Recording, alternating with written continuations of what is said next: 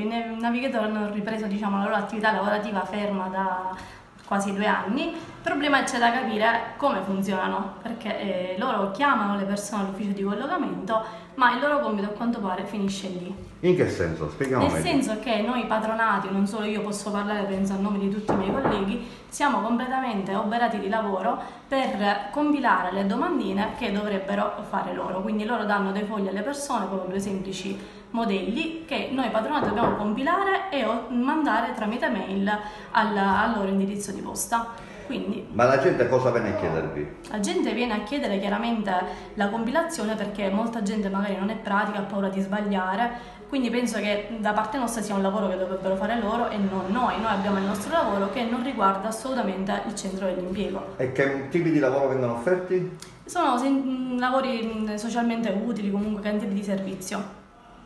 E, mh, e praticamente noi ci occupiamo della compilazione e dell'invio. A volte abbiamo pure la- mh, delle difficoltà perché i nostri assistiti non hanno una loro casella, una loro mail, quindi dobbiamo fargli intanto la mail, mandare la, documentazione, quindi noi perdiamo tanto e tanto, tanto tempo durante la giornata solo per questo lavoro che non ci riguarda assolutamente. Ma e voi l'avete fatto presente a chi di competenza? Mm, abbiamo fatto presente, noi lo facciamo per cortesia ai nostri, ai nostri assistiti e l'abbiamo più volte detto a loro insomma, di, di- di essere loro stessi a chiedere all'ufficio di collocamento di compilare le domandine.